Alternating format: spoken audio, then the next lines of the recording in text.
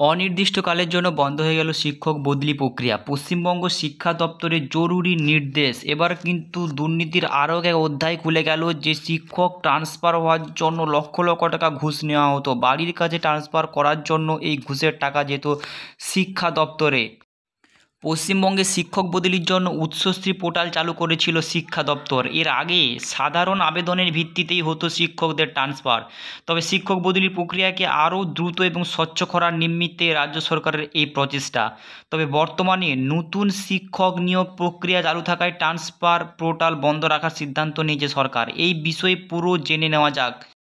শিক্ষকদের বদলির জন্য উৎসশ্রী পোর্টালের মাধ্যমে আবেদন করে শিক্ষক শিক্ষিকারা বাড়ির কাছে স্কুলে বদলি নিতে পারতেন। সেক্ষেত্রে শারীরিক অসুস্থতা, দূরত্ব ছাড়াও নানা ধরনের অপশান রেখেছে পোর্টাল। কিন্তু এই বদলি নিয়ে বেশ কিছু দুর্নীতি ধরা পড়ায় অনেকেই পাননি ট্রান্সফার। আবার অনেকে ভুয়ো কারণ দর্শিয়ে নিয়ে নিয়েছে ট্রান্সফার। এই সকল কারণে একাধিক মামলা দায়ের হয় মহামান্য কলকাতা হাইকোর্টে। তার মধ্যেই গত উনত্রিশে সেপ্টেম্বর দু হাজার বাইশ তারিখে রাজ্যে স্কুল শিক্ষা দপ্তর থেকে একটি বিজ্ঞপ্তি প্রকাশ করে জানানো হয়েছিল যে আগামী একত্রিশে ডিসেম্বর দু হাজার বাইশ তারিখ পর্যন্ত এই উৎসশ্রী পোর্টালের মাধ্যমে বদলির প্রক্রিয়া সম্পূর্ণ বন্ধ থাকবে।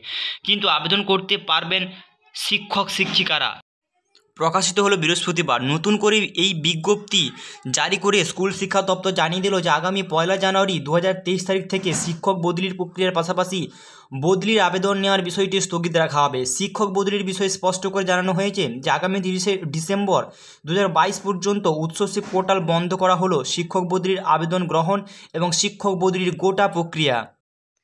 শিক্ষক শিক্ষিকারা উচ্চশ্রী পোর্টালের মাধ্যমে বাড়ির কাছে স্কুলে শিক্ষক বদলির জন্য আবেদন জানাতে পারেন। এর ফলে বহু শিক্ষক শিক্ষিকা আবেদন জানান এবং বদলিও পান। তবে এই নিয়ে পরবর্তী বিতর্কও কম হয়নি। দিন কয়েক আগেই কলকাতা হাইকোর্টের বিচারপতি বিশ্বজিৎ বসু একটি মামলার শুনানিতে এই বদলির নিয়ে অসন্তোষ প্রকাশ করেছিলেন। এমনকি রাজ্যের আইনজীবীকেও শিক্ষক বদলি নীতি পরিবর্তনের বিশেষ পরামর্শ দেন।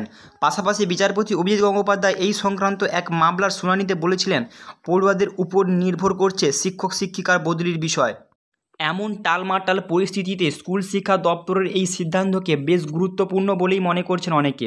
Advance society for headmasters and headmistress রাজ্য সম্পাদক চন্দন মাইতি জানান, শিক্ষা দপ্তরের এই সিদ্ধান্তকে আমরা স্বাগত জানাচ্ছি। অবিলম্বে স্বচ্ছতার সঙ্গে জরুরি ভিত্তিতে শূন্য পদে নিয়োগ যাতে হয়, সেটাও দেখতে হবে শিক্ষা দপ্তরকে।